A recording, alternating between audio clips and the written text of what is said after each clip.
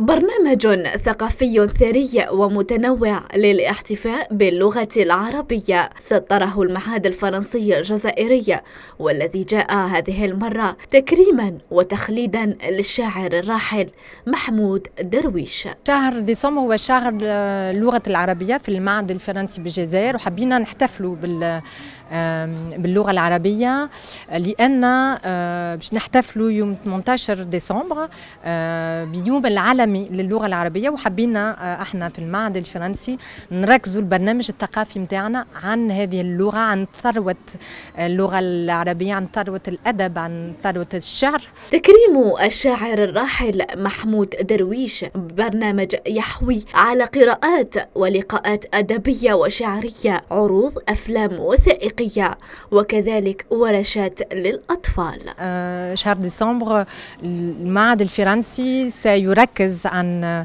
عن هذه اللغة آه، بالنسبة لاحتفال اليوم العالمي آه، للغة العربية يوم 18 ديسمبر. وكل نشاطات المعهد الفرنسي سيكون عن هذه اللغة الجميلة عن ثروة هذه اللغة وعنا du cinéma عنا سينما باش عنا مسرح باش عندنا برنامج حول آه، آه، مسرح آه، تاها هو إذا برنامج ثقافي متنوع سطر في إطار إحياء العالم للاحتفاء باللغة العربية وترقيتها.